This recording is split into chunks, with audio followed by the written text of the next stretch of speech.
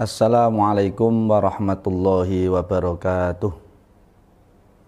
A'udzu billahi minasyaitonir rajim. Bismillahirrahmanirrahim. Alhamdulillahilladzi hadana li hada wa ma kunna linahtadiya laula an hadana Allah. Wassalatu wassalamu ala asyrafil khalqillah sayyidina wa maulana Muhammad ibn Abdullah man sahibah wa man tabi'ah la hawla wa la quwata illa billah amma ba'd seluruh pemirsa yang saya hormati dan semoga selalu mendapatkan rahmat dari Allah Subhanahu wa taala. Alhamdulillah dalam kesempatan ini kita masih diberi anugerah oleh Allah bisa menghirup udara Ramadan di tahun ini dan semoga Allah menganugerahkan kekuatan kepada kita untuk mengisi Ramadan ini dengan berbagai amal-amal baik sehingga niatan kita, tujuan kita bahwa Ramadan tahun ini lebih baik daripada Ramadan tahun kemarin. Pemirsa semuanya, khususnya anak-anak anak-anakku, seluruh siswa SMP IT Harapan Bunda. Dalam hal ini Ustadz akan sedikit menyampaikan tentang fikih puasa yakni hal-hal yang berkaitan dengan sesuatu yang membatalkan puasa saya mencoba akan menerangkan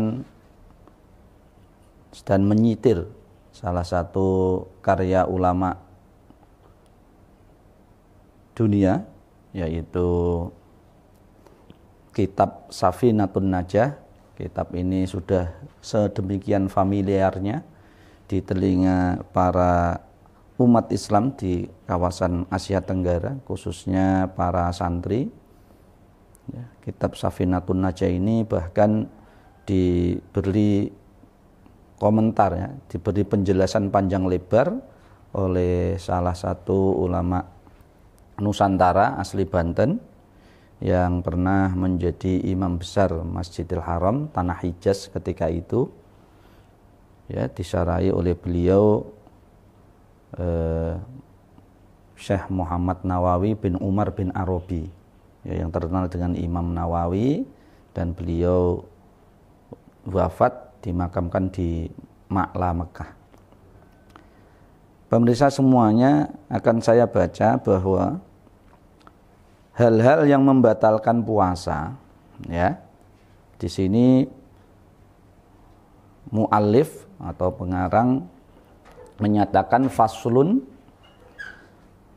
ya betulu as-saumu biriddatin wa haidin wa nifasin awiladatin wa jununin walau lahdotan. Wa bi irma'in wa sakarin ta'adda bihi in amma jami'an nahari. Bahwa hal-hal yang membatalkan puasa itu ya selain makan dan minum bercampur dengan istri pada siang bulan Ramadan ada lagi hal yang membatalkan puasa dengan riddah melakukan hal-hal yang mengarah kepada kemurtadan. Ya, murtad itu bisa membatalkan puasa. Seperti halnya dalam realita ketika di tengah siang hari bulan Ramadan atau saat berpuasa punya keyakinan bahwa Islam itu salah misalkan atau Allah itu tidak ada. Nah itu sudah masuk kategori murtad. Dan yang membatalkan puasa berikutnya haid ya. Ini khusus untuk wanita haid ya. Menstruasi, nifas ya. Setelah melahirkan ya, darah yang keluar setelah melahirkan awiladatin atau melahirkan itu sendiri. Ada yang membatal puasa itu karena gila ya. Walaupun gilanya itu sebentar tiba-tiba dalam tengah-tengah puasa dia shock terhadap sesuatu dan tidak bisa mengendalikan dirinya terus mengakibatkan hilang akalnya gila. Itu dengan sendirinya puasanya jadi batal. Ya. Atau mabuk. Nah, mabuk juga bisa membatalkan puasa.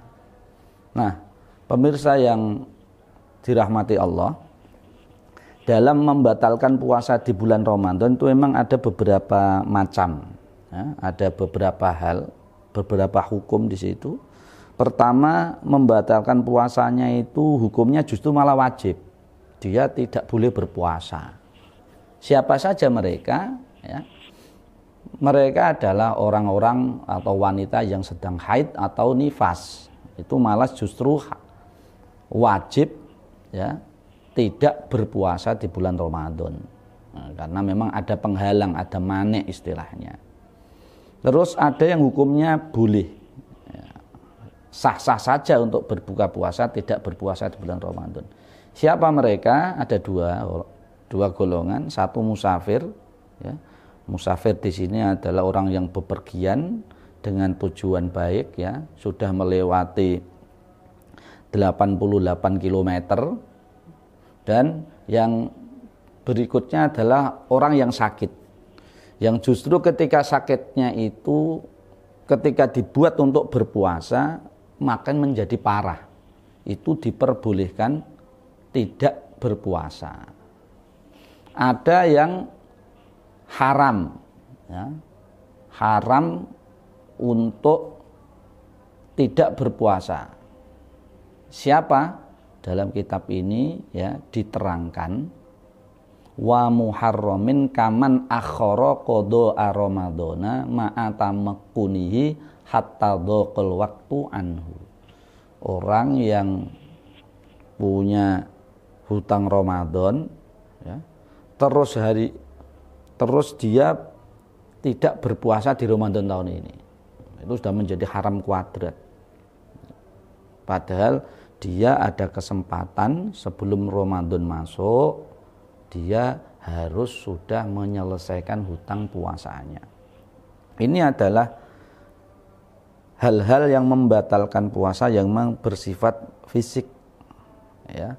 Tapi lebih dari itu itu ada hal-hal yang memang membatalkan pahala puasa. Ini yang bahkan saya sendiri dan seluruh pemirsa itu akan berjuang terus ya hari demi hari di bulan Ramadan itu untuk supaya puasa kita itu tidak batal secara pahala. Mungkin secara fisik kita sudah tidak makan, tidak minum, tidak bersenggama dengan istri dan lain sebagainya, tapi hati-hati juga. Ada yang lebih dari itu, yaitu tidak bohong karena kebohongan itu di antaranya satu dari hal-hal yang bisa membatalkan pahala puasa. Terus an-namimah, ya, suka mengumpat, itu juga al-yaminul ghamus, sumpah palsu. Itu juga hal-hal yang termasuk bisa membatalkan puasa kita. Dalam hal ini batal pahalanya. Maka dari itu sungguh tepatlah memang ucapan atau hadis dari Rasulullah Shallallahu Alaihi Wasallam diriwayatkan dari Allah itu hadis kudsi as wa ana ajzibih puasa itu memang hanya untukku ya. Dan saya yang akan bisa membalasnya. Karena puasa itu yang tahu hanya kita sendiri dan Allah Subhanahu wa taala. Dan alhamdulillah sebetulnya kita sudah dikasih modal awal oleh Allah ketika bulan puasa datang pintu-pintu surga itu dibuka lebar ya. Terus pintu-pintu neraka ditutup rapat dan setan-setan itu dibelenggu. Jadi tidak ada setan yang masuk di pori-pori sel darah kita.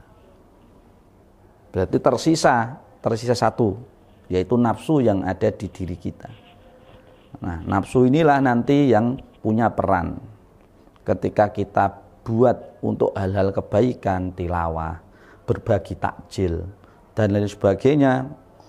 kok kita semangat berarti nafsu yang berperan di diri kita adalah nafsul mutmainnah. Bisa jadi nanti justru bukan nafsul mutmain ketika kita sering menghambur-hamburkan waktu dengan tidak ada hal-hal yang bermanfaat di bulan puasa itu jangan-jangan nafsu kita itu adalah nafsul lawamah atau bahkan lebih parah adalah nafsul ammarah bisu.